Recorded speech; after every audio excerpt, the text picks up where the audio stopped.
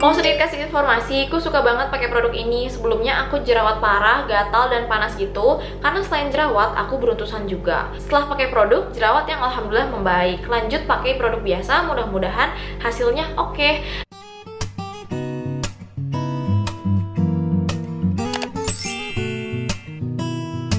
Hai semuanya, welcome or welcome back to my YouTube channel. Aku Rata Lilia dan kalau kamu baru di sini, welcome.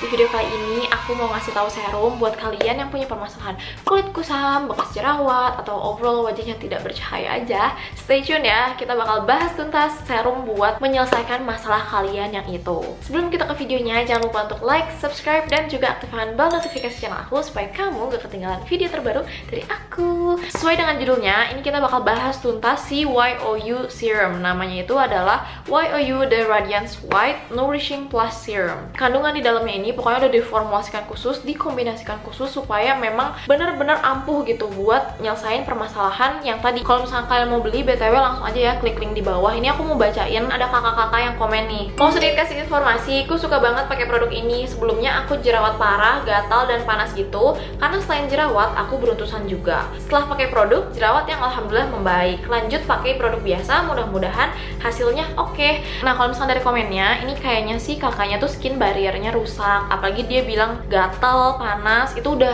bener-bener tanda skin barrier rusak. Skin barrier tuh BTW lapisan kulit kita ya. Gampangnya tuh lapisan terluar kulit.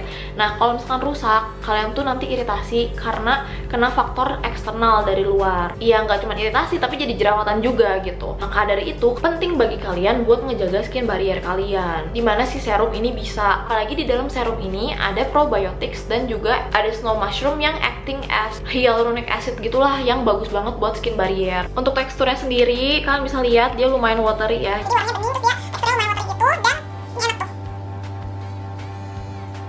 Dan ini kalau misalkan habis di blend, ini aku liatin kalau misalkan aku pakai di wajah ya. Aku taruh, ini aku nggak pakai apa-apa. Dia teksturnya watery gitu. Ini aku blend kalau misalkan aku pakai di wajah. Dia tuh yang keras banget, pokoknya lembab banget gitu. Nah, kenapa sih bisa langsung kayak kerasa banget melembabkannya gitu? Nah, si serum ini namanya kan nourishing serum. Nourishing kan artinya kayak nourish ya atau menutrisi. Nah, tapi yang mau aku highlight dia tuh mirip kayak hyaluronic acid. Jadi emang si kandungan ini ada si snow mushroom dan beberapa probiotics itu tuh emang kayak hyaluronic acid dan hyaluronic acid itu bagus banget buat melembabkan kulit kita. Kalau misalkan kulit kita lembab, skin barrier kita makin bagus dan juga kita lebih terbebas dari tanda-tanda penuaan dini. Terutama keriput ya. Keriput tuh muncul kalau kulit kamu tuh terlalu kering. Jadi jadi make sure banget hidrasi kamu tuh bagus gitu. Karena kalau misalkan kurang air nanti tuh jadinya lebih gampang keriput kayak gitu tapi pokoknya fungsi utama dia itu kayak yang tadi aku mention ya. Kalau misalkan kulit kalian kusem nih pengen cerah ini bisa pakai serum ini. Terus juga ada flek hitam bekas jerawat bisa juga pakai si serum ini tapi mungkin aku bakal breakdown juga ya per ingredients biar kalian tahu gitu. Nah, jadi tuh dia ada beberapa ingredients. Di sini aku sebutin aja, kita baca bareng-bareng. Ada snow mushroom 50 kali vitamin C, niacinamide dan juga probiotics. Si niacinamide-nya sendiri itu ada 5%. Nah, niacinamide mungkin kalian juga udah tahu ya, niacinamide itu emang bagus banget buat uh, banyak. bisa ngilangin kemerahan atau blemishes, terus bisa ngilangin bekas jerawat juga, terus bisa mengecilkan tampilan pori juga. Pokoknya banyak. Jujur aku aja yang udah lumayan sering sering kayak gonta-ganti ingredient skincare aku tuh ngerasa paling aman banget paling kulit aku jadi bagus itu tuh kalau misalnya ketemu sih niacinamide lagi aku pokoknya kalau misalnya kalian belum punya niacinamide dalam skincare rutin kalian kalian wajib banget. Kalau misalkan aku harus mention satu yang wajib dicoba itu yang ada niacinamide-nya ya serumnya. Terus dia ada 50 kali vitamin C. 50 kali vitamin C-nya itu dibandingkan serum yang sebelumnya.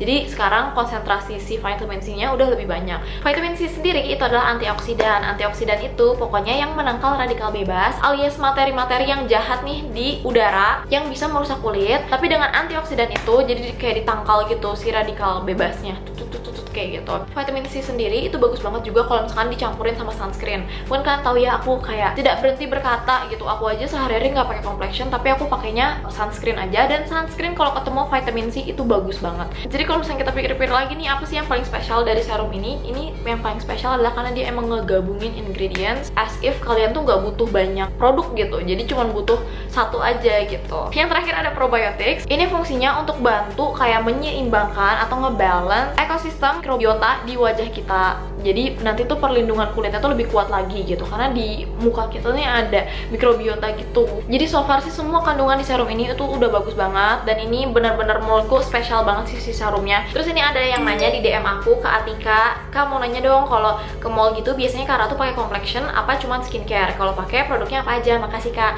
Nah aku itu orangnya bukan apa-apa ya. Uh, aku cenderung malas pakai complexion karena males aja gitu ngebersihinnya kayak habis seharian terus harus taking off foundation bedak bahkan bedak aja aku males banget jujur. Makanya prinsip aku adalah skincarean lah sampai kalian gak usah pakai complexion. Walaupun aku harusnya pakai ya ada beberapa bekas jerawat cuman aja aku males banget jujur. Aku belajar banyak banget dengan cara taking care of my skin atau ngerawat kulit aku. Itu tuh dampaknya tuh buat jangka panjang itu tuh bagus gitu. Ini mungkin aku bisa kasih lihat juga ya ini pas aku kuliah aku nggak skincarean sama sekali. Tapi apa-apa kalau misalnya ada jerawat bekas jerawat uh, kering flaky flaky skin itu aku nggak ngapa-ngapain. Aku beneran aku tumpuk pakai foundation dan lihat kayak gini saran aku ya pokoknya kalian kalau misalkan mau mulai rawat kulit kalian inilah waktunya it's never too late to start. Yang skin barriernya rusak atau emang kusam aja nih walaupun udah pakai apa pun tidak bisa kalian bisa cobain si serum YOU ini kalian kalau misalnya ada yang mau ditanya-tanyain seputar skincare, seputar serum ini, boleh banget loh tulis aja di kolom komentar. Nanti bakal aku jawab. Oke, okay, that's all for today's video. Thank you so much for watching. Semoga video ini bermanfaat. And as always, kalau misalnya kalian suka videonya, jangan lupa untuk like, subscribe, dan juga share video ini ke teman-teman kalian. Nextnya mau video apa lagi nih? Komen di bawah ya. Thank you so much for watching. I'll see you next video. Bye!